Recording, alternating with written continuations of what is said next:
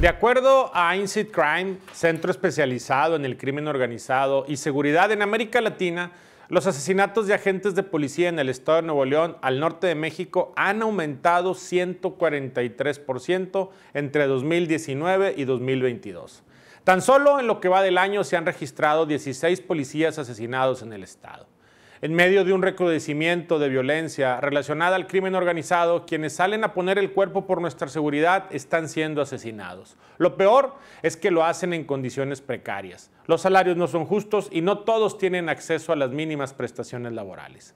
Lo he dicho antes, en Nuevo León tratamos al policía municipal y estatal como ciudadanos de segunda. Hay que recordar, por ejemplo, que hace casi un año el Congreso de Nuevo León, en donde Morena fue el único partido que se opuso, aprobó que sin importar sus años de la indemnización de un policía sea solo de tres meses de sueldo base y el proporcional de un máximo de 12 meses de prestaciones. Pese a promesas, elementos de Fuerza Civil se han quejado en reiteradas ocasiones de que no llegue el aumento salarial prometido. Los bonos se retrasan y ni siquiera pueden acceder a buenos préstamos bancarios. Hay policías municipales que ni Infonavit pueden acceder.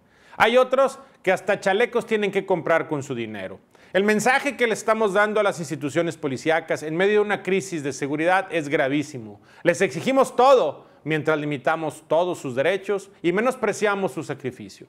Hoy y siempre el trabajo más valorado por todos los neuroneses debe ser el de nuestros policías. Sin ellos no hay manera de detener el terror que hoy nos acecha.